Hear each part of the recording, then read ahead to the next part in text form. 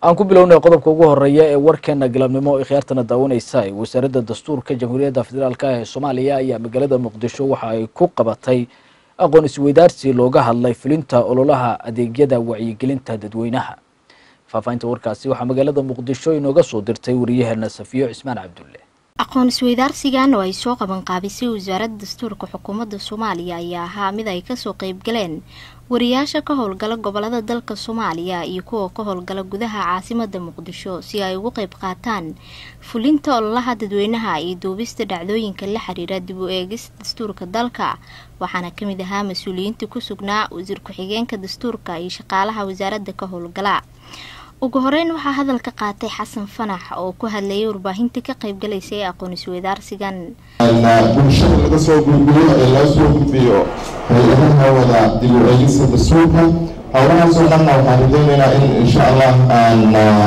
qeyb waxaadaan ka qaadano. Waxaan rajeyneynaa in fursadan ay noqoto mid wax weyn ku soo kordhisa. Dabcan dastuuradii hore ee soomaaliya ee la soo sameynayay waxaan rajeynayaa ma jirin fursad noocan oo kaleeta ah oo ay saxaafadda u helaan in ay qeyb ka noqdaan gaarsiinta bulshada. Marka waxaan rajeynaynaa in isbedelkaas uu noqdo mid waxweyn ku soo kordhiya dib u eegista dastuurka. Agaasimaha waaxda wacyigelinta wasaaradda dastuurka xukuumadda soomaaliya oo goobta ka hadlay ayaa ka warbixiyey waxyaabaha uu ku saabsan yahay tababarkan. Wasaaradduna waxa ay bilaabi doontaa ololaha baahsan ee wacyigelinta bishan novembar ee fowda nagu soo haysa ololahaas oo lagu beegsanayo in la gaaro dadka soomaaliyeed meel kastoo ay joogaan ayadoo loo marayo hadday aan lahayd saxaafadii hadday aan lahayd in kulamo loogu qabto goobaha ay joogaan islamarkaana laga wacyigeliyo iyo islamarkaana loo sheego meesha uu marayo dib eegista dastuurka sidaad la socotaan wasaaradda arrimaha dastuurka waxay soo bandhigtay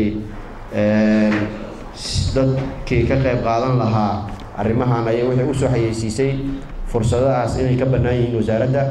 Wasiir ku-xigeenka wasaaradda dastuurka soomaaliya xuseen cabdi cilmi oo tababarkan furay ayaa sheegay in saxaafaddu tahay waddada keliya ee loo mari karo inay bulshada gaarsiiyaan fahmidda dib u eegista dastuurka dalka.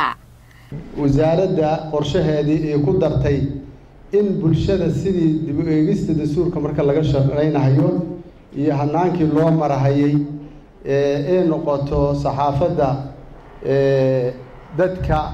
masa wadooyinkii loo mari lahaa oo gaarsiin lahaa. Meelaha ugu muhiimsan saxaafaddaasoo mid la iska maqlo iyo mid la iska arko iyo mid la akriyo intabale qaybaheeda kala duwan. Maanta tiknolojiya ku soo aruurtay wax walba qofkii baadiyaha joogay iyo qofkii magaalada joogayba kii aan tv haysanina radio haystaa kii kalena website wax ka akrinayaa intaba in la isticmaalo oo miidiyaha qaybihiisa oo kala duwan in bulshada lagu gaarsiiyo waana wasiilada ugu muhiimsan oo maanta waxyaalaha la iskugu tabiyo ay tahay waa saxaafadda. Marka aada baan iin bogaadinayaa aada baan ugu faraxsanahay inaad nala shaqaysiin. Safiya cismaan cabdulle wararka warbaahinta s b c muqdisho